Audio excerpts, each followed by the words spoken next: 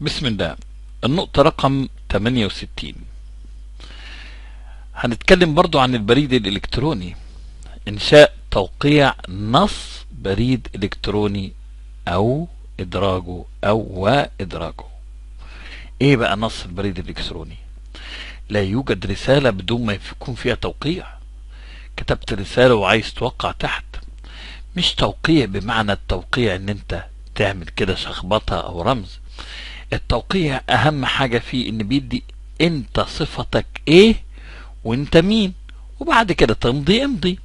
التوقيع مش امضاء عامة لا ده التوقيع أنا لازم أعرف مين صفتك إيه. أنا مدير الشركة أنا مهندس شبكات أنا آه، محاضر في كلية كذا أو جامعة كذا. يبقى أنا بتكلم بالصفة وبعديها اسمك إيه وبعديها حط اللي أنت عايزه. عايز تحط الشهادة أو غيرها. هو ده المطلوب. ولأنها حاجة بتتكرر كتيرة. أنا بعمل بريد كتير بعمل عشر بريد في اليوم فمش معقول أكرر نفس الحاجة عشر مرات في اليوم. يعني التكرار ما يدلش على الذكاء خالص. فهل في مكان بنحتفظ به بالتوقيع وأي إيميل نقول له ادرج لي التوقيع بتاعي يدرجه؟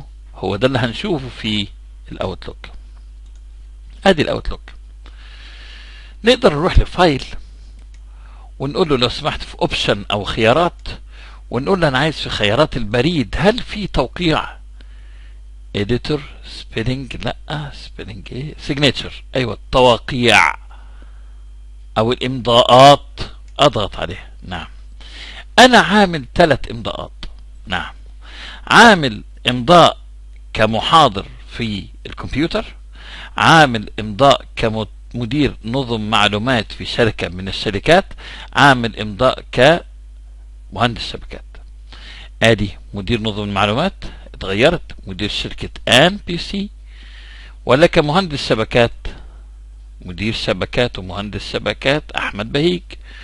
وكل واحد زي ما أنتم شايفين آدي أنا محاضر أحمد بهيج وحاطط حتى اللوجو بتاعي اسمي والحاجة والشهادات اللي متعلقة بعملية تقنية أو عملية إن أنا محاضر إن أنا راجل معايا ماجستير ومعايا بكالوريوس. إنما مدير نظم المعلومات أنا راجل معايا MCSA أنا Microsoft Certified System Administrator و ام سي دي بي اي Microsoft Certified Database Administrator ومهندس شبكات كمان أنا غير إن أنا مهندس أنا برضو معايا Microsoft Certified System Engineer يعني المفروض اللي هو الشهادات اللي تحت متعلقة بمين؟ بالصفة اللي انت حاططها أو الوظيفه طيب. فما عليك لما تيجي تكتب أي رسالة خلاص بقول له اديني رسالة جديدة وتحط الاسم مثلا أنا بهيج آه، هتحط هنا بهيج خلاص مثلا at dot TV مثلا خلاص وتحط نص الرساله بتاعتك. أنا جايب رسالة هنا أهو congratulation وعايز أحط هنا التوقيع بتاعي. فما أسهل من إنك تروح هنا signature وتدوس عليه وتختار كل التوقيعات موجودة هنا محاضر تقنية المعلومات مدير نظم المعلومات مهندس شبكات. أنا عايز أحطها زادت لي على طول هنا التوقيع بتاعي. سهلة. عايزين نتعلم دلوقتي إزاي نعمل التوقيع بتاعنا. ماشي؟ أنا هشيل القديم ونعمل جديد. خلاص. هشيل القديم أروح signature أدي أفتح ال signature أو بلاش من هنا. من نفس المكان اللي قلنا عليه من شوية اللي هو من file ثم option ثم mail ثم signatures خلاص؟ وهشيل دول ونعمله من جديد. okay؟ أهو. okay؟ أدي هو يا سيدي. ونعمل توقيع واحد حتى من جديد. يبقى توقيع جديد new okay. هتسمي التوقيع إيه؟ خلاص. مدير الشركة. يبقى ده توقيع إيه؟ مدير خلاص الشركة. خلاص؟ ممكن تعمل توقيع فريندلي صديق لما تيجي تبعت لواحد آه، يعني كصديق ليك لا يتعلق أنت صفتك صفتك كإنسان عادي موجود في على الإنترنت. إنما هنا نقول مثلا مدير الشركة. يبقى هنا توقيعي بصفتي كمدير الشركة. واعمل التوقيع بتاعي تحت. هل عايز التوقيع يبقى في اليمين ولا الشمال ولا في النص؟ أنا عايزه يكون في النص. خلاص؟ هتحط إيه؟ عايز أحط الأول الصورة بتاعت اللوجو بتاعي. أنا ليا لوجو ختم. فأجي أضغط أقول له أنا عايز أدخل صورة. خلاص؟ ونختار الصورة اللي إحنا عايزينها. أنا عندي الصورة أهو ومنهم صورة صغيرة أهو.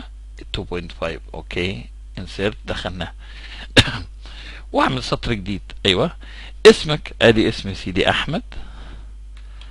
خلاص بهيج. حلمي. خلاص. طيب عايز أكبر اختار. خلاص بالكامل. وقول له عايز حجم الخط كبير شوية 16 وليكن. ونحط مهندس في الأول. تعالى في الأول واكتب مهندس ميم. خلاص هوم وميم. خلاص. وسيب وحط يا سيدي دي مهندس أحمد بيك حلمي. OK. لكن قبل ما تحط المهندس هتكتب المفروض مدير الشر... مدير الشركة؟ مدير الشركة. خلاص؟ يبقى أدي مدير الشركة اللي اسمه أحمد مهندس أحمد بهيك ممكن حتى تاخد التوقيع بتاعك وتدرجه لأن التوقيع هيكون صورة. أدي آجي هنا وأقول أنا عامل توقيع جاهز تحت هو بحيث إن كمان أزود التوقيع بتاعي انسرت وأدي كمان توقيع. توقيع كبير وعايزين نصغره مفيش مشكلة نصغره الأول وبعدين نحطه لكن ممكن يتحط. بس كده خلصنا كده. يبقى ده أول توقيع. OK. عملنا التوقيع. خلاص؟ نقول له OK. خلاص؟ لما نيجي نعمل دلوقتي بقى بريد جديد OK؟ نقول له دلوقتي لو سمحت أنا عايز أدرج التوقيع بتاعي يبقى إدراج توقيع مدير الشركة هيكون تحت زي ما أنتم شايفين كده أهو. آخر حاجة. عرفتوا؟ نعيد إعادة عشان نثبت المعلومة. OK. أنا هقفل الرسالة دي أنا أعملها كده خلاص OK. وهنعمل توقيع جديد من file أيوه. option أيوه. و mail أيوه. و signature أيوه. وقول أنا عايز أعمل واحد جديد ونكتب هنا مثلا التوقيع الايه العادي بتاعي أو التوقيع الايه العادي أو كصداقة أو الصديق. خلاص؟ والصديق. صديق. آه يعني هكتب إيه بقى؟ هيبقى الصديق غير. بمعنى آه هكتب في النص أهو. خلاص؟ صديقك المخلص. لأن هنا صديقك المخلص. خلاص؟ واكتب تحت حتى ده صديق. هنقول مخ يعني مهندس إيه؟ أحمد بهيج حلمي. خلاص؟ وآدي يا سيدي إذا كنت ببعت لصديقي مش هيكون أكتر من كده. والله عايز تحط صورة تحط حاجتك تحط. أنت حر. ولكن يكفي بهذا الشكل. خلاص وقول له موافق وقول له أوكي. وكده لما تقول له بقى هنا أنا عايز أعمل معلش أعمل بريد جديد. وبعد ما أخلص البريد حطيت آدي بهيج الايميل خلاص. وحطيت الموضوع تهنئة.